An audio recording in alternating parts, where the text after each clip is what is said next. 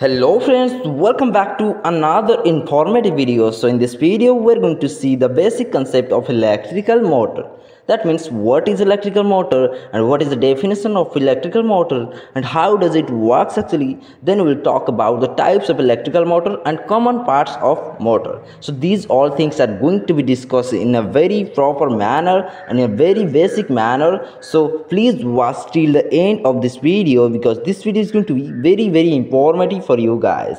And if you are visiting this channel for the first time then please do subscribe and share this video with your friends so that they can also also be benefited by this video so let us start the video without wasting much time guys so an electrical motor is an electrical machine that converts electrical energy into mechanical energy. So basically an electric motor has two mechanical parts that are rotor and stator. Rotor which always rotates and it always moves but stator which doesn't move or it is stationary in nature but electrically the motor consists of two parts also the field magnet and the armature.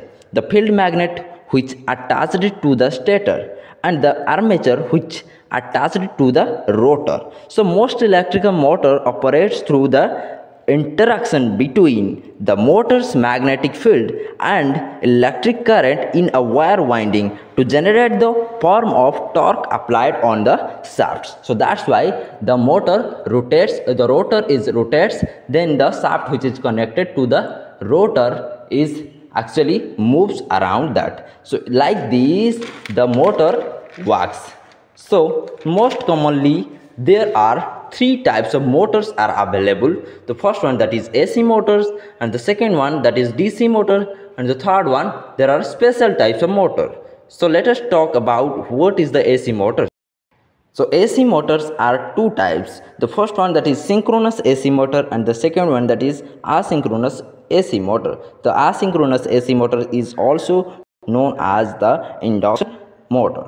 Okay, and also there are many kinds of dc motors are available in the market that are series dc motor shunt dc motor and the compound dc motor pmdc that is permanent dc motor dc that is brushless dc motors. And in the special category there are also many types of special motors are available that are stepper and servo these all are the category of special type of motor okay so these all are the type of electrical motors. So see you in the next video. Thanks for watching